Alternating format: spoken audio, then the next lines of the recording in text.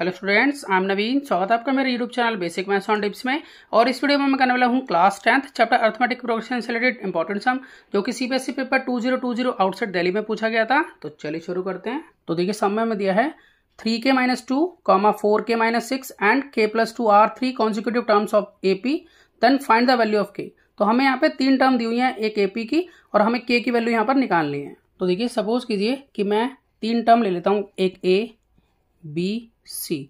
ये तीनों टर्म जो है, वो कॉन्जिक्यूटिव टर्म्स हैं, ये मान के चल लेता हूँ, ठीक है? तो अगर मुझे कॉमन डिफरेंस निकालना हो तो मैं क्या करूँगा? कॉमन डिफरेंस निकालने के लिए मैं बी में से ए को घटाऊँगा तो मेरा कॉमन डिफरेंस आएगा। उसी तरह से अगर मैं सी में से बी को घटाऊँगा तो भी कॉमन डिफरेंस आएगा।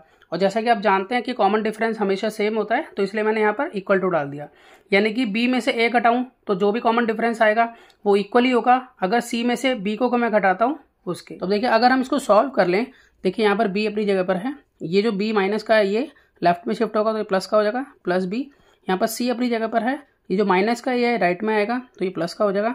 तो इस तरह से यहाँ पर हम कह सकते हैं कि two b equal to c plus a ये बी प्लस बी मिलकर यहाँ पर टू बी हुआ है। अगर हम ध्यान से देखें तो ये सिचुएशन हमें ये बताती है कि अगर हम मिडल टर्म को डबल कर दें, क्योंकि बी हमारी मिडल टर्म है ठीक है? तो वो इक्वल होगा फ़र्स्ट और लास्ट टर्म के सम के, जहाँ पर फ़र्स्ट टर्म हमारी ए है और लास्ट टर्म हमारी सी है। इसी का यूज़ मैं इस सम को सॉल्व करने के लिए करूँगा और इसको हम अर्थमेटिक मीन प्रॉपर्टी भी कह सकते हैं, जिसमें कि फ़र्स्ट और लास्ट टर्म का जो सम होता है, वो ट्वाइस होता है सेकेंड टर्म के। तो देखिए मैं यहाँ पर मैंशन कर देता हूँ कि यहाँ पर ए मेरे लिए थ्री के माइनस टू है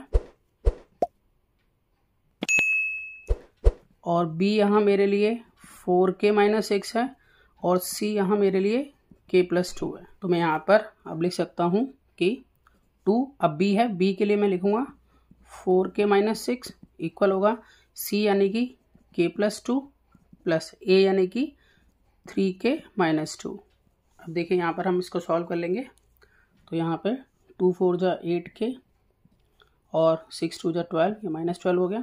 यहाँ थ्री के और के ये हो गया फोर के माइनस टू और प्लस टू आपस में कट हो जाते हैं। अब यहाँ पर एट के अपनी जगह पर है, फोर के इधर आएगा तो माइनस का हो जाएगा, और ट्वेल्व माइनस का है, ये राइट में शिफ्ट होगा तो प्लस का हो जाएगा।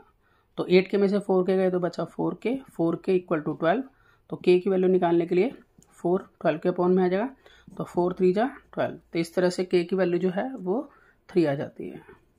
तो मैं आशा करता हूँ कि आपको सम समझ में आया होगा। इसी तरह के बहुत से सम्स क्लास टेंथ के लिए पहले से अपलोड हैं, आप उन्हें देख सकते हैं। तो मिलते हैं नेक्स्ट वीडियो में और नए सम के साथ, तब तक के लिए गुड बाय